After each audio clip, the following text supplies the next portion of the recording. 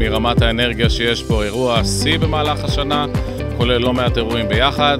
הראשון והחשוב בהם, כנס הפרויקטים של הסטודנטים לשנה ד', מכל המחלקות, מכנית, חשמל, תוכנה, תעשייה וניהול ורפואית. הסטודנטים מציגים את התוצרים של הפרויקטים שלהם, שלמעשה מביאים לידי ביטוי את כל התוצרים של הלימוד שלהם במהלך ארבע שנים. יש פה פרויקטים מכל הנושאים והתחומים בהנדסות השונות אצלנו, ולא מעט מהם נעשו עם לקוחות חיצוניים, בין עם הצבא או בין עם לקוחות אה, תעשייתיים.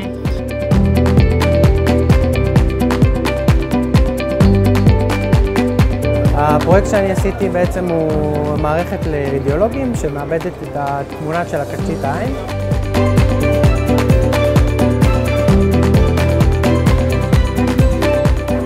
מערכת בקרת טיסה אוטונומית מבוקרת GPS.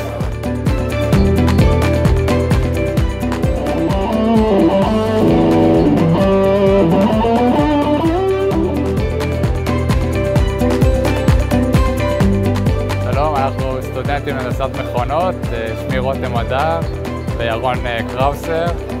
פיתחנו דגם חממה, כפי שניתן לראות. חממה היא מבוקרת אקלים.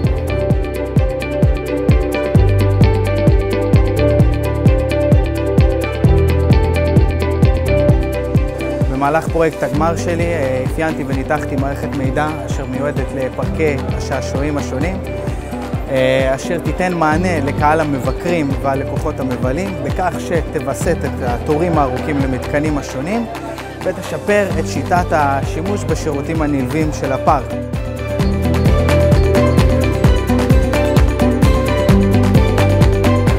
גמר שעשינו אה, בוצע עבור מחלקת טכנולוגיות מתקדמות בתל השומר, תחת ניהולו של פרופסור אריה אורנשטיין. הפרויקט הוא בעצם גלולה אבחונית למערכת העיכול שעובדת על אה, החזרים ספקטרליים והשוני שבין אה, רקמה נורמלית ורקמה פתולוגית.